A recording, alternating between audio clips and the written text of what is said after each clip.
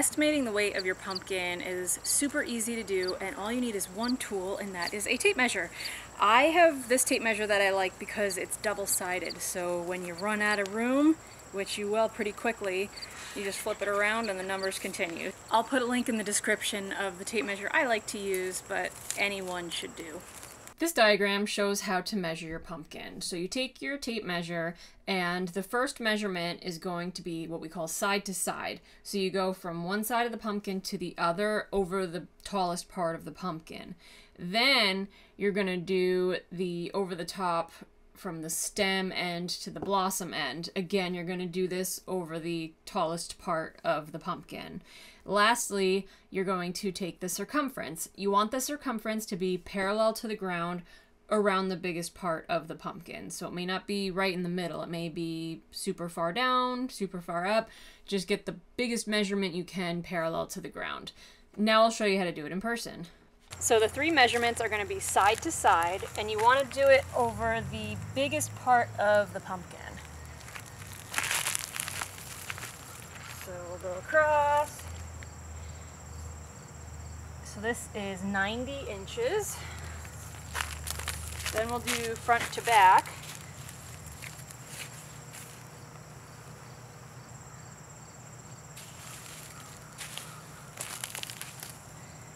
Okay, that's 88 inches.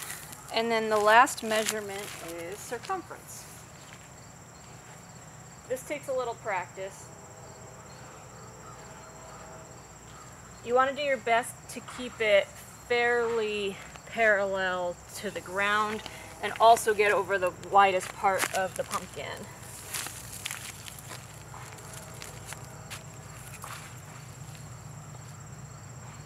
For me that's 135.5 inches. Make sure when you do your side to side and front to back measurements you're measuring straight down, not in like that or out like that. You want it straight down. Once you get your three measurements, you want to add them together. So we got 90 plus 88 plus 135.5. That comes out to 313.5. Next, what you do is you get yourself this wonderful chart. You can find this on the GPC website at gpc1.org. And what you do is you find your OTT, that stands for over the top measurement, so the sum of all of your measurements. You find it in the chart, and in our case, they had 313 and 314. So our weight was something in between those two, meaning it's probably somewhere between 719 pounds and 726 pounds. So probably 722, 723 pounds. So that's your estimate using the OTT chart. Now, if you want to take it to the next level, you can see that there's a formula on the bottom of this chart. You can plug this formula into an Excel spreadsheet and enter the numbers yourself and make your own beautiful spreadsheet. So I will show you my spreadsheet next, which I use all the time. Here you can see my Excel spreadsheet. So the way I have it set up is the first column I have days after pollination and then going across I have every single pumpkin that I've ever grown. I color coordinate them mainly because I have OCD and then I also have the pollination date right under it. So my two current pumpkins are in these two columns and I like having these all side by side because I can compare how I'm doing. Unfortunately this year I'm actually not doing too great yet but we'll know for sure once we hit DAP 30 meaning 30 days after pollination whether it's going to be a bust or if we actually have a chance at getting a personal best. So the way I do it is I plug in that formula that was on the bottom of that chart and then I plug it in uh, up here into the cell. And you have to be careful because there's two sections. There's that one and that one that corresponds to the OTT so make sure that you fill both of these in and don't get rid of this negative number right here.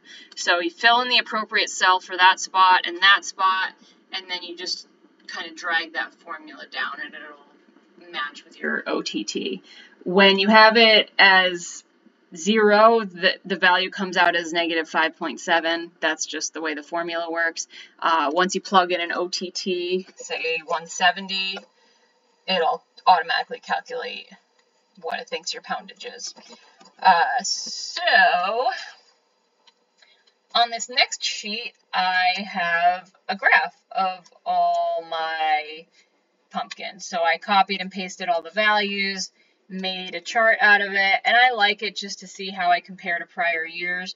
Um, this one here was my best that split on me.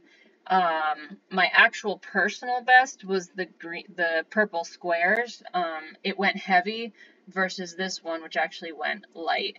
They typically follow the same growth curve for the most part.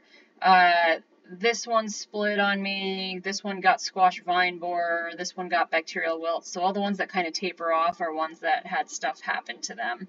So uh, I like having this. I also did it to compare whether it made a difference whether I used Florel or not. Theoretically, Florel is supposed to extend this area before it goes higher and then stays higher for longer. I didn't notice a difference in the two years that I did that. So it's kind of fun to play around with everything, but that's my Excel sheet for you.